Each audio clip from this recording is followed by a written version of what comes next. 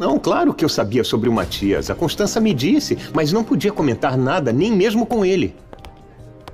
Eu estou muito preocupado com meu filho. Eu gosto dele. Eu o amo. Eu admiro, o respeito. Mas não estou de acordo com essa decisão. Bom, eu também não estou de acordo com essa decisão, mas vamos ter que respeitá-la, Gonçalo. Pois é. Assim será. Assim será. O Matias continua amando intensamente a Renata. Sim. Quem dera ele tivesse se interessado pela Adriana. Bom, enfim, eu quero te agradecer, Gonçalo. Agradecer a mim por quê? Porque a ideia de que a Branca saísse da empresa foi sua e foi muito acertada. Não, não me agradeça. Eu não fiz nada. Me agradeça quando eu conseguir que a minha irmã e você reconsiderem essa decisão de se separarem. Bom, isso não depende de você, Gonçalo, e sim de nós dois. É, eu sei, eu sei. Se fosse por mim, a Constância e você não teriam se separado por essa idiotice que acham que a minha irmã te engana com esse rapaz, esse tal de César. Você também já sabe? Foi ela que te disse? Sim.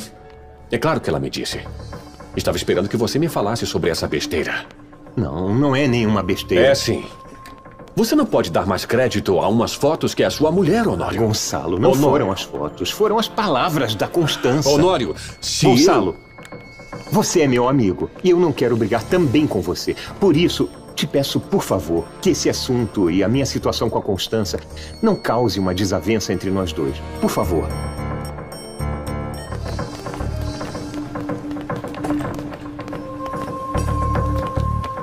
Oi. Oi. É, vocês sabem me dizer se a dona Constança trabalha aqui? Sim.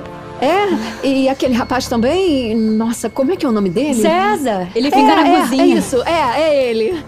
Veio procurar ele? É, não, a verdade é que eu só queria ver ele. Ah, muitas garotas vêm aqui pra vê-lo. É? Todas são loucas por ele. É. Mas ele é muito sério, não olha pra ninguém. Ah. Mas claro, olhar não tira pedaço, não é?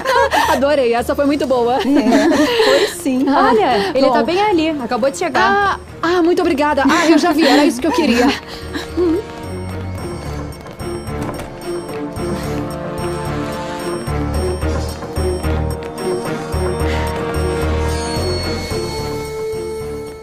Bom, mas então você não chegou a falar nada com a Roberta? Não, ela não ficou em casa o dia todo.